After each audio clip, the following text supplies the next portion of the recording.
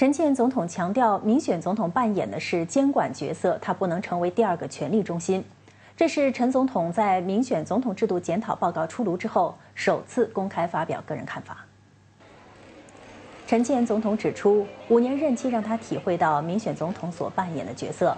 他认同进入民选总统的门槛必须进一步提高。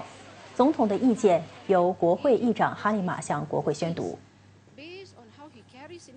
My finance background was useful in helping me understand the technicalities of the government's proposals, but the decisions often also require good policy acumen and a sound judgment on what is right for Singapore. 陈总统认为，政府接纳宪法委员会的建议是朝正确的方向迈进，并强调民选总统必须有效执行看管第二把钥匙的角色。 We cannot hamstring the elected presidency just to guard against a worst case scenario of a populist or power hungry president.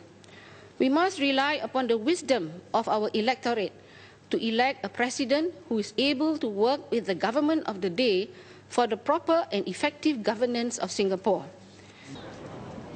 总统也说，他同意检讨委员会建议每隔一段时间保留让特定族群进驻民选总统的做法。